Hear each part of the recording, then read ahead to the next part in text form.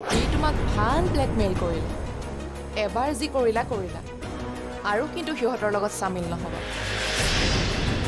তই মনজিতৰ ফেমিলিক পাহৰি যা। নোৱাৰো পাহৰিব দাদা। তেনেহ'লে মোক পাহৰিব লাগিব। আপুনি আপোনাৰ নিজৰ ছোৱালীক বিশ্বাস নকৰি ভায়েকৰ ল'ৰাক বিশ্বাস কৰি সকলোবোৰ দি নিদিব। পাছত কিন্তু ডাঙৰ পৰিণাম ভুগিব লাগিব পাৰে। অঞ্জলি। আজিৰ খণ্ডটি উপভোগ কৰক নিশা চাৰে আঠ বজাত আৰু চাৰে দহ বজাত।